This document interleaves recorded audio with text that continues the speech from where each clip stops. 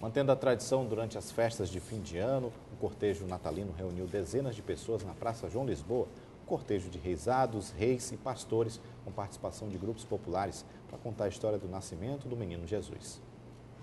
A Praça João Lisboa foi tomada por pastores, reis magos, anjos e vários outros personagens bíblicos que recontam a história do nascimento de Jesus, o verdadeiro presépio vivo que percorreu em cortejo as principais ruas do centro histórico de São Luís. Olha, chama a atenção da população é, para conhecimento da nossa cultura popular, que é envolvida também com nesse ciclo natalino.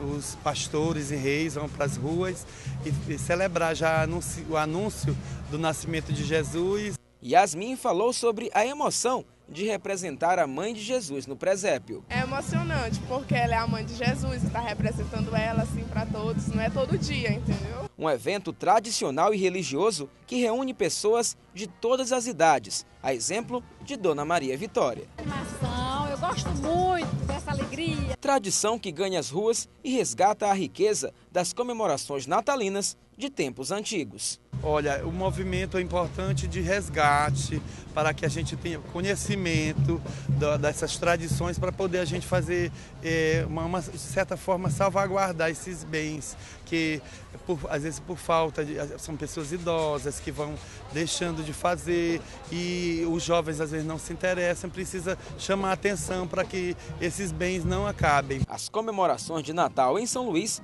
vão até 6 de janeiro, no dia de Reis, com a tradicional queima de palhinhas.